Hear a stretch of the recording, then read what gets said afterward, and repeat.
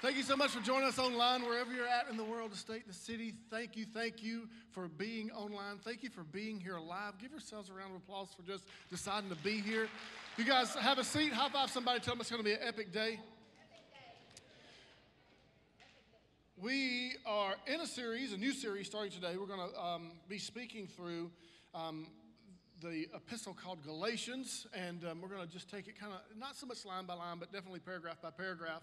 And so I was reading through it and been reading through it a couple of weeks and just trying to decide where does Holy Spirit want us to land in that and what what would be the right thing to say and kind of address. So we're going to be in Galatians chapter 2, verses 11 through 14. So if you have your Bible, go ahead and turn there. Um, but then I'm going to I'm going to start there and I'm going to stay there and I'm going to pull out something that's um, not always noticed um, that happens in between two guys. Uh, the first guy is Paul, who's writing this letter. The second guy is Peter. Two, two very powerful people in the, in the very beginning stages of spreading the gospel everywhere. And so there's this, um, uh, you could call it confrontation that happens that we're going to read about in 11 through 14. And then we're going to um, just have a conversation about where we're at in the world, where you are um, on your spiritual journey, and I think you're going to walk away and realize that this is super, super practical um, to your life and, and mine as well. So, Galatians chapter 2, 11 through 14. But when Peter, so Paul is writing this, but when Peter came to Antioch, I opposed him to his face. Look at your neighbor say, to your face. Because he stood condemned. For before certain men came from James, he was eating with the Gentiles, but when they came, he drew back and separated himself, fearing the circumcision party. And the rest of the Jews acted hypocritically along with him, so that even Barnabas was led astray by their hypocrisy. Verse 14. But when I saw their conduct was not in step with the truth of the gospel, I said to Peter before everybody, If you, though a Jew, live like a Gentile, and not like a Jew, how can you force the Gentiles to live like Jews? So basically, um, what's happening in all of chap- chapter 1 and chapter 2 of Galatians, Paul is kind of communicating to all of us the purity of the gospel, it's faith in Christ alone. Um, and we've, we've covered that before, but he kind of hammers it a little bit more because there were people who were saying, hey, um, you have to get circumcised, plus have faith in Jesus. And so he gets word. If you'll read in there, he gets, it's not like he heard this firsthand. He, somebody told him um, that this was happening. And so he shows up and he confronts Peter. And so Peter is acting one way in front of a certain group of people, which is known to the Gentiles, that would be non Jews. And he's acting a certain way in front of his Jewish brothers and sisters because he was a Jew. And so Paul comes in and he says, Listen, because you're acting that way, you are doing a detriment or disservice to the gospel, so much so that a friend of mine, whose name is Barnabas, is being led astray by not just your words, but your conduct. And what you see happens to Peter in here is the same thing that oftentimes happens to us. All, all he did was crumble to the pressure of people. How many of you ever been somewhere, been in a, um, um, a, a, family reunion, your work, school, grocery store, anywhere, and something needs to be said, but you choose not to say it? You're like, oh, I'm to let that slide or something needs to be done, but you choose not to do it because, well, I don't, I don't really want to cause any discomfort. Or how many of you ever had an awkward conversation? Like, because of something you said, it went awkward in a hurry. And it got silent. How many, how many of you are scared of silence? Like, if I was to just stop talking right now, you would start to get sweaty because something needs to be said. Like, we just. Notice everybody laughing. That's called nervous laughter. I didn't say nothing funny. Everybody went, Okay, so like we, we don't like that, and sometimes you can say something, suck all the oxygen out of the room, and nobody says anything. Have you ever been somewhere at a party and we're all cutting up laughing, and all of a sudden everybody stops talking? We ever had that happen? Is that not the weirdest thing in the world? Like you feel like, well, somebody say something. We were all joking, and so, so what happens is sometimes we crumble. Me say crumble to the pressure of people and we don't kind of step into and say the things that need to be said, do the things that need to be done. And all Peter lacked here, kind of what, what Paul checked him on, was his lack of courage. That's all it was. He knew the right thing to do, but he was trying to appease to both sides of the argument, and he found himself in the middle. So Paul walks up and says, Listen, you can't be this way. You've got to have some courage. So out of that little section, God impressed on my heart last night, somewhere started around 9 o'clock. Um, said she heard me praying through the night because I know I woke up around 2.30 and made some notes. So most of these notes, you would have thought between 9 and 11 I would have ordered them a little bit better. But I thought 9 went so well, I just leave them as discombobulated as it was when we started. So, so I, you may see me scrolling and going back and forth. Um, it's not because I'm looking at pictures, it's because I'm trying to find the scripture that I've got to have at this point. But right now, in your world, my world, in the world, there's all this tension and there's a lot of voices. Like there's how many how many knows a lot of stuff going on? And you don't know what to say, when to say it, how to say it. And so what we find ourselves doing as a church, as a Christ follower, is sometimes crumbling to the pressure of people. So what I what I feel like Holy Spirit wants us to do today is I just want to encourage you. And that word encourage means place some courage in you. Um, because this is, this is where Peter kind of kind of faltered. And so, if I was going to title um, today's conversation, um, I would say this um, we're going to talk about courage under fire. That, that right now in our world, you can, you can say something and people will take that and publicly shame you. You can say something, they will persecute you. You can tweet something, they will take a picture of that tweet, send it to your boss, get you fired. If you take the perspective of kingdom, and I'm not talking about Christianity, if you take the perspective of biblical kingdom right now and you start saying that, the world will lash out at you and persecute you. And so we're in a battle right now between freedom and fear. We're in a battle right now between being cowards or being courageous. And, and there's no other time in the, at least in my 47 years on the earth, that I can say in the world that if, if you have a voice, if I say I do, that you need to be using it, you need to be speaking to certain things. It's just how we do that, when we do that is important, but here's what we can't do. We can't shrink back. We can't not have a voice. We can't not say something. We've got to bring, if I say the truth, now look at your neighbor who said truth and say in love. Because that's super, super important. So when you look up the biblical word for courage, here's what it means. So every time you see the word courage, so we've all read Joshua 1 9, be strong and, be strong and, be strong and. We did that because it says it like that many times. Okay? Here's what that word means to have strength in the face of adversity, the ability to choose to act, choose to act on one's beliefs despite danger, discomfort, disapproval, or pain. Everybody say amen. So that when you when God says to all of us through through Joshua, when we read that book or we read anywhere where it says be strong and courageous, what he's saying is is be strong and be willing to act on your kingdom beliefs, even if it's dangerous, uncomfortable, or somebody might not approve of what you're saying. So Isaiah starts off and says this way Isaiah 41:10, Do not fear, for I am with you. Do not be dismayed, for I am your God. I will strengthen you and help you. I will uphold you with my righteous hand. How many of you ever read scripture and like thought you knew what a word meant, but maybe not so sure, and then you just keep reading it and you go, well, that's probably not that big a deal. Um, I honestly never really knew what the word dismayed mean. Anybody in here think you got a handle on that word? I would read it, I go, okay, don't fear, God's with me, don't be dismayed. So I just thought that meant, again, don't be afraid. I didn't really know what that word meant, so I thought, I'm going to go to the Hebrew and I'm going to look that word up because I don't know what that means. Um, and you can judge me. You can be more educated than me, so I knew what that means. That's great, but I didn't. So I thought, I'll go look it up. And much like most Hebrew words, it, it more paints a picture than it does give us a word. So we, we translate it um, dismayed. You could translate it panic, but here's, here's, the, here's the picture it paints. I love this. this I, I think Scripture is awesome. You should study it. Um, how many of you know somebody that knows somebody who has one of them little tiny scared dogs. Who y'all know I'm talking about? I'm talking about the little tiny, um, sometimes also known as a chihuahua.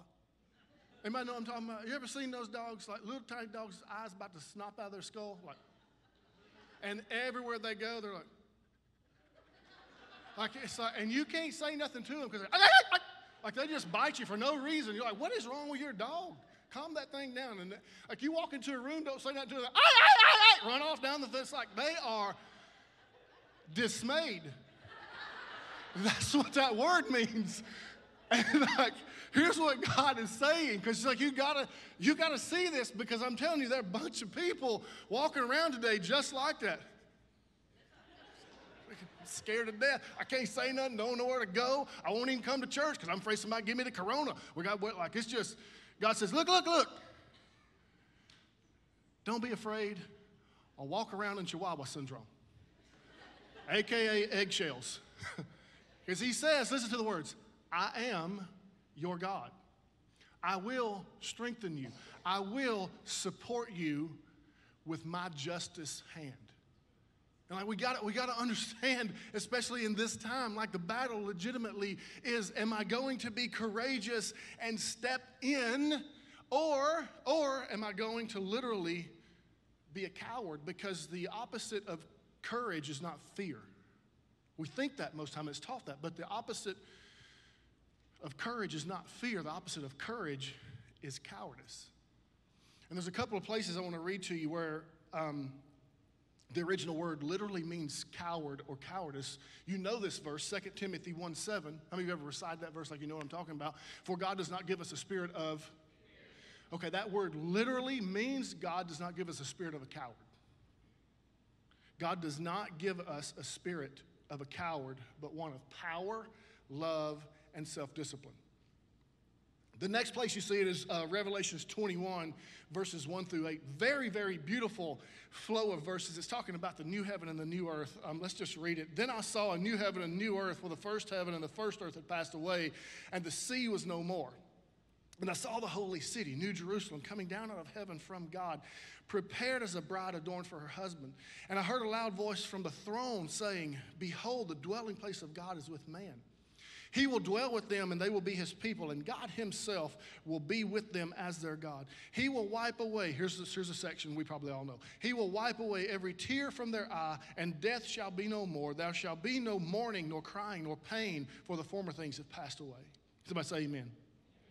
And he who was seated on the throne said, Behold, I am making all things new. Also, he said, Write this down, for these words are trustworthy and true. And he said to me, It is done. I am the Alpha and the Omega, the beginning and the end. To the thirsty, I will give from the spring of the water of life without payment. The one who conquers will have this heritage, and I will, I will be his God, and he will be my son. Verse 8, listen to this. But as for the cowardly, the faithless, the detestable, murderers, sexually immoral, sorcerers, idolaters, and liars. They will not inherit these things. In both places, that word cowardice or cowardly means a person who chooses not to act because of danger, discomfort, or disapproval. disapproval. Here's what it means I'm choosing not to step in. I'm choosing not to have the conversation. I'm choosing not to do or say the thing I know that's right because it will cause me discomfort. It will make it awkward. It could cause me pain. It could cause people not to approve of me. I'd rather be liked by you than, than do what God I know God wants me to do. That's what the word means. And so, why do I pull it out of 2 Timothy and out of Revelations? It is not to scare you. Like a lot of people would use that Revelations 21 verse and say, hey, if, if you ever struggle with, with fear, then you're probably not going to make it in. No, I want you to see two things how serious this is to God. One, so much so that he announces, I didn't give you a spirit of a coward, I gave you one of power, love, and a sound mind. And I want you to see the list, the list that he jumps it in with if you choose to do that. Like he puts it in with murderers and idolaters and sorcerers and liars and like it. So we need to know that this is a very, very serious conversation. So we need to understand one, how, okay, well then how do I get courage? Because I don't want to be a coward, and that's the truth for everybody in here. I want to be able to step from a kingdom perspective, step in. So how do I get something that apart from God you don't have? And I'll talk about that in just a second. And then, like, if you've embraced Jesus as your forgiver and leader, and you're here, and like, okay, I'm pressing in. I want to, I want to do all that I can for the kingdom. How do I develop courage? Because it is something that can be developed. It is something that you don't, like, you don't have all of it yet. Like the Bible says that we can grow in grace, that we can go from glory to glory. What does that mean? We just improve, and improve, improve, and improve, and improve. And so there is this journey that you go on that you can literally develop more and more or greater and greater courage. So, how do I get something that truthfully apart from Jesus, we don't have. So let me help you, especially if you're here and you're on the journey and you um, trying to figure all this out. This is not like bad news. This is good news. Apart from having a relationship with God through Jesus, um, I'm never going to be courageous from a kingdom perspective. And here's what I mean I'm always going to choose the easiest way. I'm always going to, hey, I need everybody to like me as much as I can and make every people happy. And you know, maybe you've kind of isolated yourself. You care about these group of people being happy, but not these group of people being happy. But you you live in this struggle where it's all about self-preservation and and selfishness. And and that sounds like bad news, but it's good news because God said, Well, because your heart's broken and it's banged up because of sin in the world, I sent Jesus to redeem you, to forgive you, to restore you, to make you into a new creation. Um, when you embrace Him through faith, you get the mind of Christ, you get the Spirit of the living God in you. Like He literally takes the spirit that is cowardly out and he puts the one of power, love, and a sound mind on the inside of you. And then now you walk courageously. Look at your neighbor say, courageous. So that's, that's how you get it. But then once you kind of make that step, then you have to learn how to kind of um, work it out. Like it's, it's literally like a muscle that needs to be developed and worked out. So how do we, how do we develop? I'm going to give you three things that um, I think are both, we see them in like everyday life, but it's also supernatural as well, meaning um, we understand how this works in the physical, but I'm not really sure we always understand how this works in the supernatural. So, the first way that you get greater courage is greater courage comes from a deeper intimacy with God. A deeper intimacy with God. So, let me help you understand what that means because when you just get saved, you know God, you are known by God, you are a child of God, but it doesn't mean you're intimate with Him. What does that mean? It doesn't mean that you like know everything there is to know about God. How many of you have been married for like 10 years or longer? Have you ever had a conversation with your wife or your husband 15 years into marriage and go, Well, I didn't know that about you? Right? Listen, Benet and I were having a conversation uh, last week, maybe, so we'll be married 26 years coming up.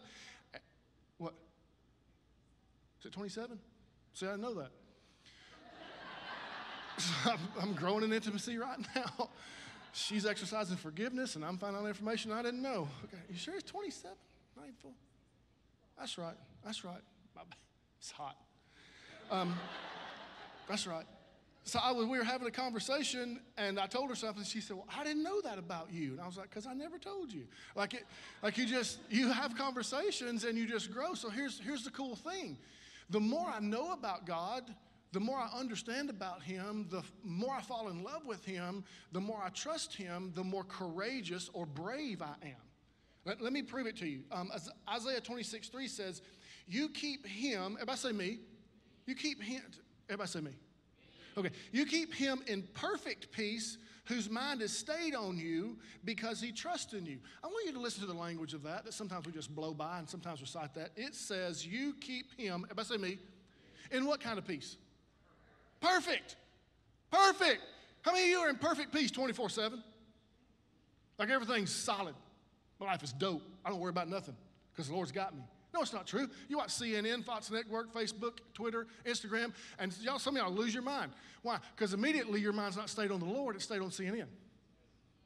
And so there must be this, this reality that I'm in and you're in where we go, okay, okay, I need to grow in my intimacy, my intimate knowledge of God, learn how to stay my mind on Him, think on things that are praiseworthy, lovely, and excellent. Why? Because the Bible says I have access to not just peace, Yes, perfect peace. Why? Because I grow in my trust in you. And so there's this journey that we're on. Psalms 27 1 says, The Lord is my light and my salvation. Whom shall I fear? The Lord is the strength of my life. Of whom shall I be afraid? So, practically, let me prove it to you. How many of you in here feel super courageous during worship? Like you're in here, you worship with the band's playing, lights are going, lights are down a little bit, there's smoke filling the auditorium, and you're you got like you just like you feel like, man, I'm this feels like Motley Crue concert, but like it's better because I'm saved. Like, I mean, I've, I've seen some of you stick your tongue out. I'm like, that dude is getting it. And the truth is, truth is, you, like, how many, how many just like, let's be honest, inside, you in here worshiping, you talk about, man, I'm about to go, I'm about to go witness to my friend. He needs to be saved. As soon as I get out of here, I'm kicking the devil in the freaking teeth, rattle, like whatever you got going on, right? How many know what I'm talking about? You just feel that way. You get no car, it's like, well, maybe Tuesday. Uh, he might be busy right now. I, mean, I, don't, I don't want to bother nobody. What, what, ha- like, in that moment where you're connected and you're aware, like deeply aware of the presence of God, you got all this dope courage. That's available every day. You just got to grow in it. So, so, how do I become more courageous? I grow in a deeper, intimate relationship with God. Um, so, like, look, maybe, just maybe, tomorrow, tomorrow's what? What's tomorrow? It's Monday. Hey, hey, maybe don't start your day with ACDC, um, you know, Hell's Bells. Probably not a good idea. Now, look, I'm not the guy who's kicking secular music in the teeth. I think if you're on a date with your wife, listen to something romantic. Rattle's probably not what you want to listen to. But when you start your day, maybe, maybe not ACDC, maybe not Motley Crue, maybe not Iron Maiden. I'm showing my age. I don't know what the rest of y'all listen to, but that used to be my thing. I mean, what I'm talking about. Thank you. Okay, so now listen, I can still go there. If I'm lifting weights, I'll put some, you know, Barnett's put me onto some, some, oh, that's Christian music. Okay, so I'm trying to get better. Yeah, anybody know I'm talking about that, that music you can't understand, but come on, it's dope. All right?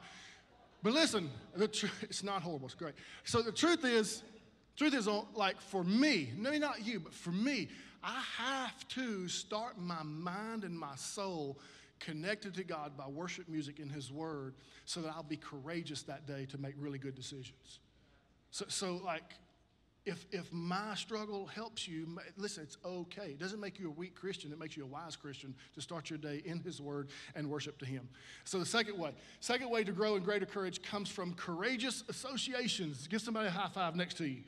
Courageous associations. Deuteronomy 32 20 says, One can put a thousand to flight, two can put 10,000 to flight. That's more than double. That's some crazy growth. So God's saying, listen, me and you together, a thousand's running from us. Me and you together with somebody else, 10,000 are checking out.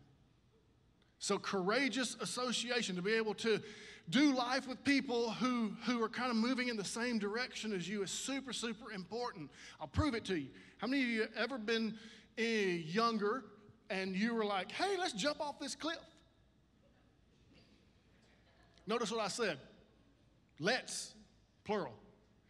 I don't know anybody that pulled up their little boat, some cliff somewhere, said, I'm to scurry up here all by myself and jump off this. Some of us would have if we jumped before, but the truth is, the truth is, y'all announced in the boat, hey, who's going with me?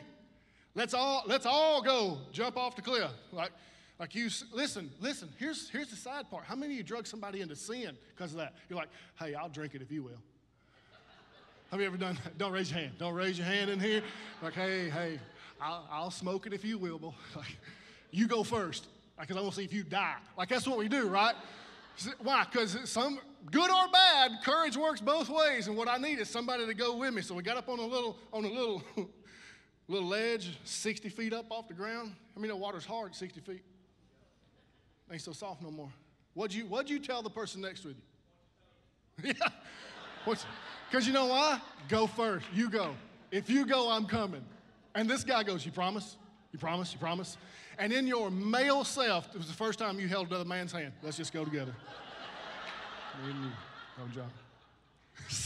So look, it's, it's true. It's true in the natural. I'm telling you, it's true in the supernatural. If you know somebody is living kingdom with you, if you know somebody's pressing in, and listen, listen there's somebody you want to go tell about Jesus, take somebody with you. It'll be a whole lot easier. You'll have a whole lot more courage. You want to go pray for somebody who's sick, take somebody with you along and say, hey, we're going to lay hands on this person, rub them down with oil. Would you go with me? Because it looks weird. Um, we're going to make everybody uncomfortable, but as long as we're together, we're jumping. Right? So, how do we grow in courage? Have courageous associations. That's why it's important that you're in a small group. Because listen, Sunday's dope, but the truth is you don't, you don't really know everybody in here. And, And I can encourage you and we can have a good time, but about, I mean, Wednesday's coming. How many of y'all know that? Thursday's right around the corner, and about Wednesday or Thursday, we need to be in a small group together to encourage, put courage into one another again, so we can kick Friday in the teeth and overcome Saturday, and we're back on Sunday. That is God's plan because He knows not only do we need a deep, intimate relationship with Him, just in case we're on the ledge by ourselves, to know I'm never by myself, He never leaves me, He never forsakes me, but I got to have courageous associations so that when the time comes, I'll step into that. The third way to get greater courage comes from walking in obedience slash discipline to God's word.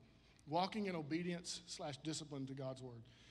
We all know, and I've quoted uh, Joshua chapter 1, verse 9, where it says, Be strong and.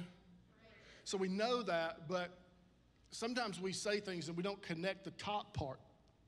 So verse 8 says this, speaking to Joshua, God, this book of the law shall not depart from your mouth but you shall meditate on it day and night, so that you may be careful to do according to all that is written in it.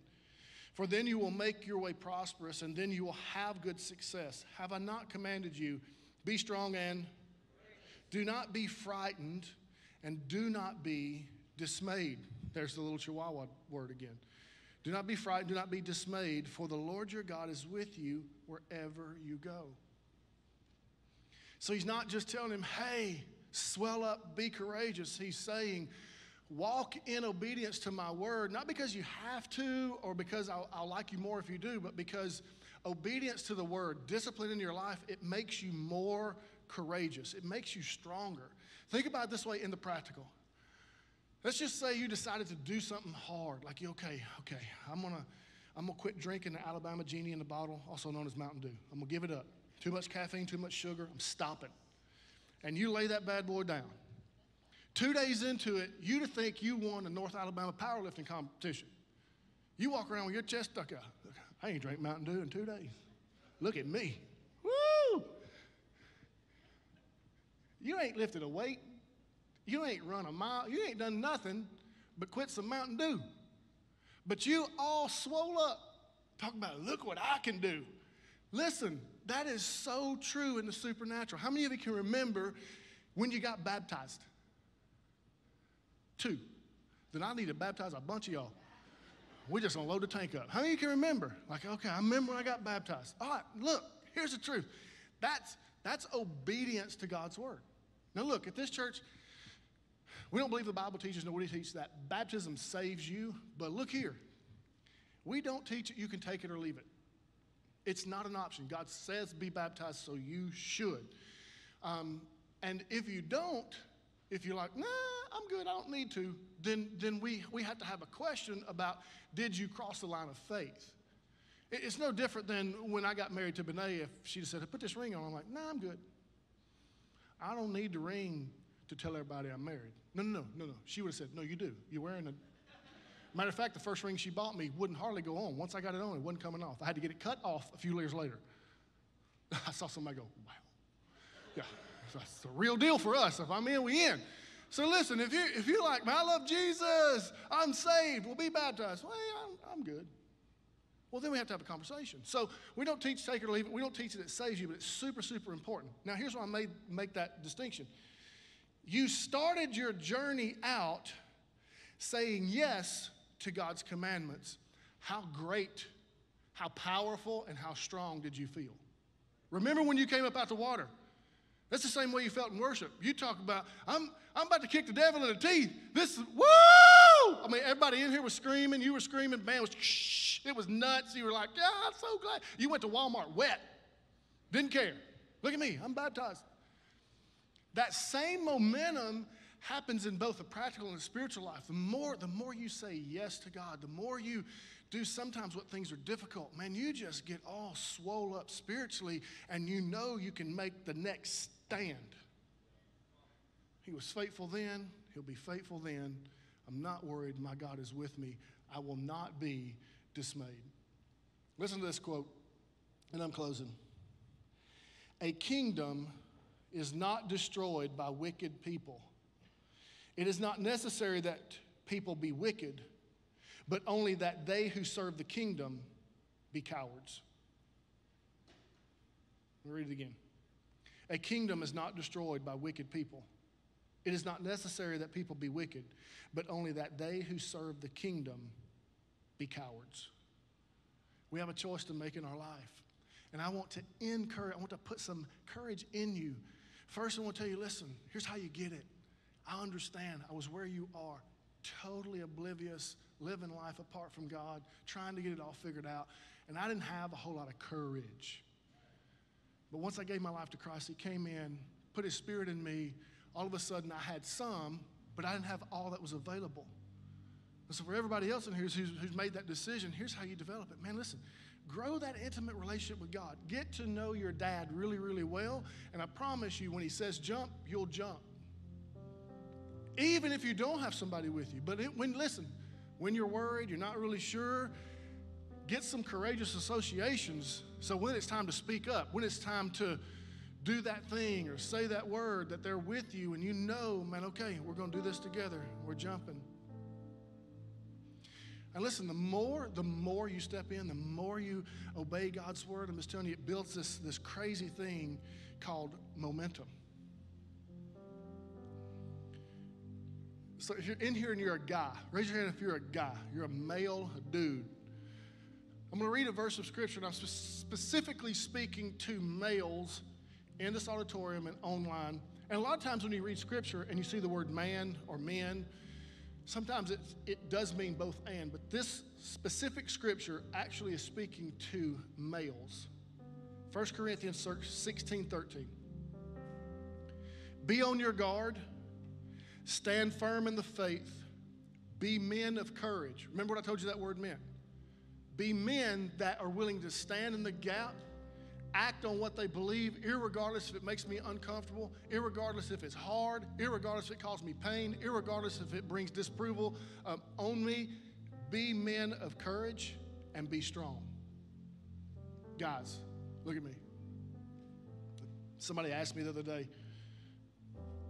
um, I was doing a coaching session at a company, and they said, Oh, you're like a preacher. I said, Yeah. Why do you think the world is the way it is? Is because we took prayer out of school? It's like, well, I think that's a um, sub problem to it.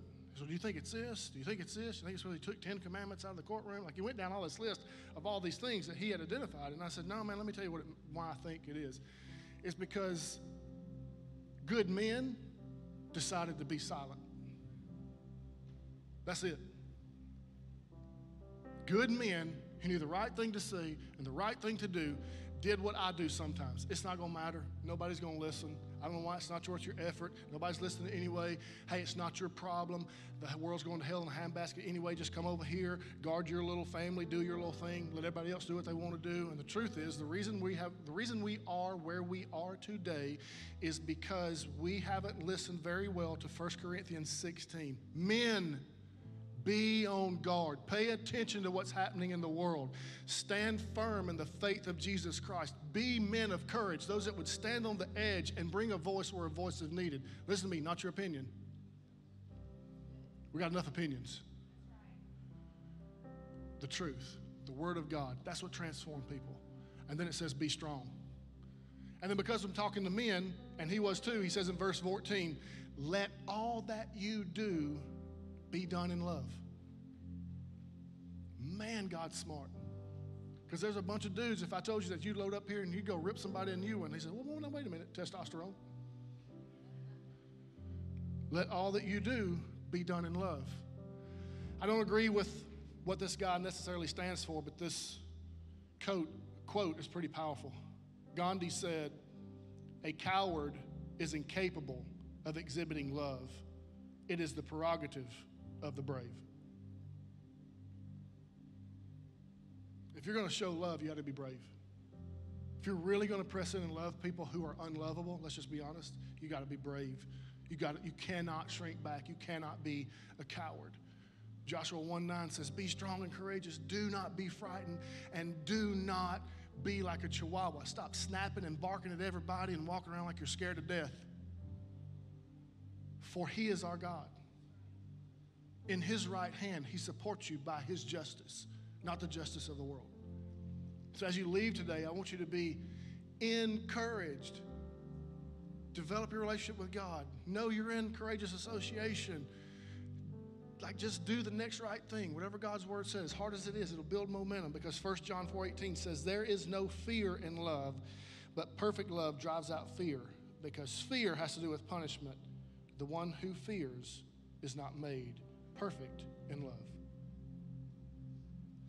So listen, everybody online, look, come back to church. I got it. COVID 19, we had to do some things. We were out for like 12 weeks. We had to do six foot of distance all this. We wear masks. I got all that. But the truth is, CDC just came out and said there's a 99 point something survival rate if you get it. They've changed that story. They've said it's not as transferable as it used to be. We made a mistake. We probably shouldn't have made all these things. And listen, I'm just telling you, the enemy wants to deceive you in thinking, I'm being cautious, I'm kind of sneaking back, I don't want to come to church, but yet we go to Lowe's, we go to Walmart, we go wherever we want to go, but we won't come to church. Come to church. The church literally means the gathering of his people. And I got it. If you're out there and you're watching online because you can't, I understand. Thank God for online. I appreciate it. But look, if you're choosing your comfort of sitting in your bed in your underwear over being here, there are people that need you here. They need to see you coming, they need to see you be the example. Show courage, don't choose comfort. When you're out there and you're in the world, be a voice. Look at your neighbor say, You have a voice. It's needed. What's not needed is your opinion. There's a fine line between my opinion and what the Bible says. Make sure you always quote Scripture in the context it should be quoted to bring a kingdom perspective to a land that's honestly hurting really, really bad right now. Be a voice of hope, be a voice of good news, be joy. And honestly, man, that takes courage. All of us have been in environments where people are sad, and we're like, well, maybe I shouldn't be happy. Maybe you should be. Maybe you're the one that's going to bring the joy of the room up. You got to discern that. I understand that. But I just, I just want you to go today, be encouraged and show courage because I'm telling you, I'm telling you, the world needs you. You have a unique voice. You have a gift set that nobody else has to do things that nobody else can do. I'm not trying to puff you up. I'm just telling you that's what the Word of God says. You are beautifully and wonderfully made. God made no mistake when He made you in your personality and in your gifting. And be courageous. Make your voice loud. Say it when it needs to be said. Serve when it needs to be served. Love when nobody else is loving. And the world will legitimately begin to be healed because of you, because of me, because of all of us.